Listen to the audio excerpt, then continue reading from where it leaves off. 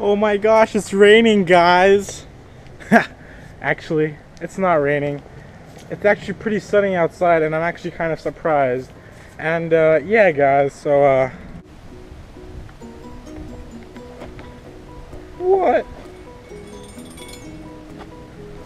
I think I'm gonna break this thing.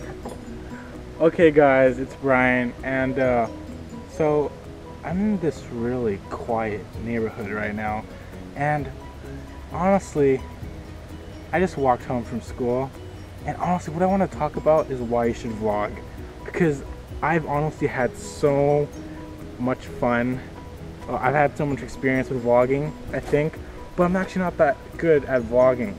So here are some things I want to talk to you about vlogging and why you should do it, cause it's fun. AF. yeah. I'm busting my pumpkins down there.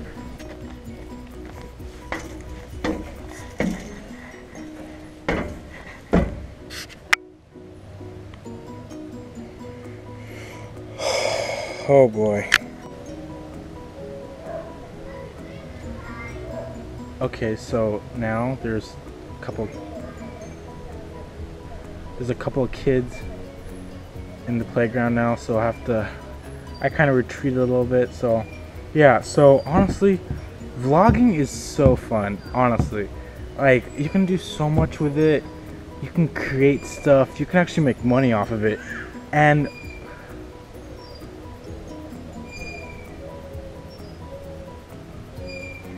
that noise is really irritating.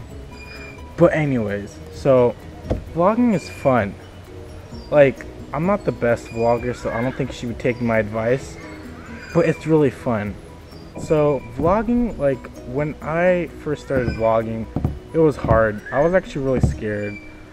And Casey Neistat, you know, he's one of my favorite vloggers of all time. He's just, he's he's a master. He's like, if we're talking about Star Wars, he's like the Darth Vader, or he's like the Obi Wan Kenobi. He's that good.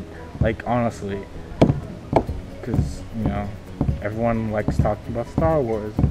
Yeah. So vlogging just mainly consists of you, the audience, the camera, which is right in front of me, and myself.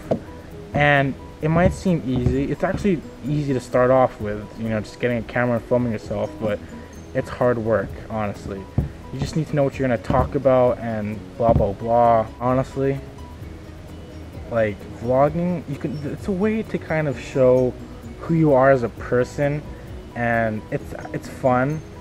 Like you can actually people who watch it can actually learn more about you and actually like you know you, you it's actually a way of documenting what you do in your daily life. It's like snapchat but like throughout the whole day.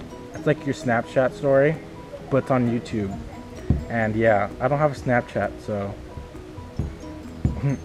yeah so bad anyways guys thanks for watching and see you next time Bye bye. Have a little faith in me.